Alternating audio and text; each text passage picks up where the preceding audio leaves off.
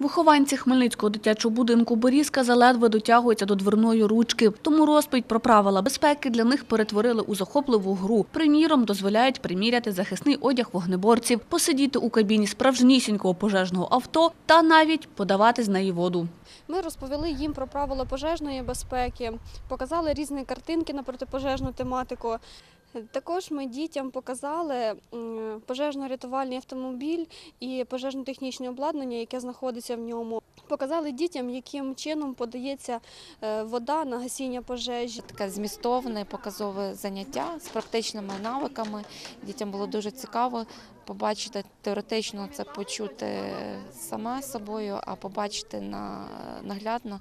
Я думаю, це їм запам'ятається, тому що з дитинства діти повинні знати, як поводити себе при, е, при пожежі. Методист Аліна Рефель каже, такі діти потребують особливої уваги і, як інші, повинні навчатися правил безпеки та знати, як поводитись в надзвичайній ситуації.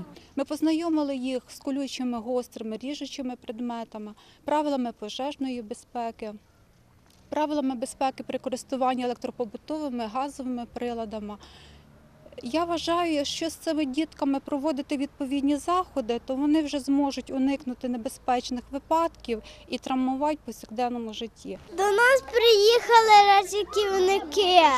Треба набирати 101 Хотовицького 4. На завершення малюки отримали дитячі книжечки та канцелярські набори від рятувальників. Дарина Денисенко для інформаційного випуску.